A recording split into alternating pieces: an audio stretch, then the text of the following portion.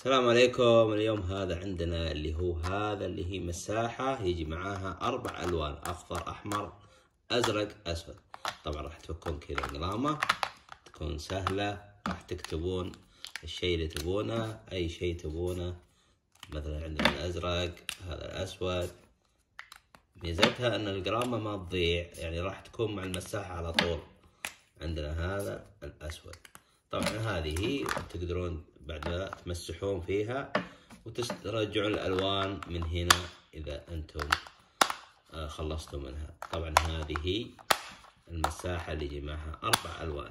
طبعا هذه كويسة ومفيدة وعملية. شكرا لكم.